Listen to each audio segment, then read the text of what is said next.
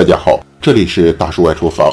想吃豆腐，自己在家就能做，再也不用买了，不用添加剂，吃起来营养健康。下面一起来看看吧。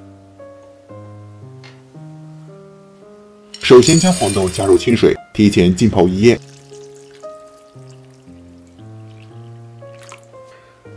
浸泡后吸足了水分，变得非常圆润饱满。换水将黄豆抓洗干净，沥干水分，倒入料理机中，加入适量的清水，将黄豆打成豆浆，然后把豆浆倒入滤袋中，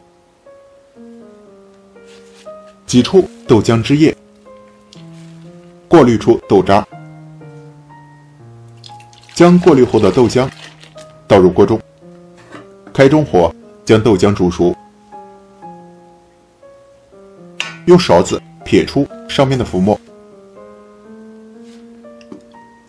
不断的搅拌，防止糊底。煮至七分钟左右，豆浆开始沸腾，转小火，再煮三分钟，关火静置十分钟。电饭煲先按保温键，保持一个温度。碗中倒入五十毫升的白醋。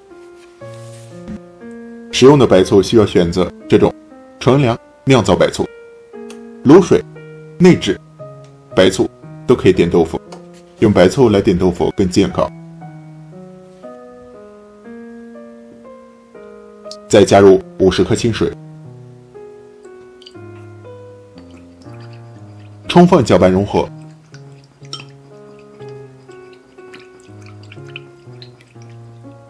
然后将醋水倒入电饭锅内，保持温热状态。将豆浆放置八十五度左右，挑出表面的豆皮，然后将豆浆倒入醋水中，搅拌一下，保持电饭锅的保温状态。加盖，焖十分钟。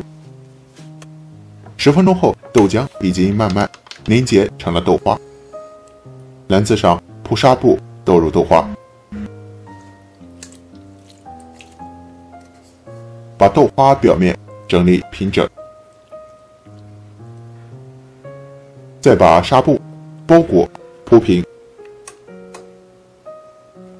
放上一盆水或者是其他的重物，压四十分钟。时间到了，将豆腐取出来，倒扣。取下纱布，再把豆腐切成小块。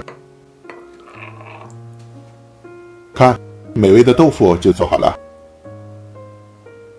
这样做出来的豆腐嫩滑爽口，和外面买的没有差别，营养又健康，没有添加，吃着更放心。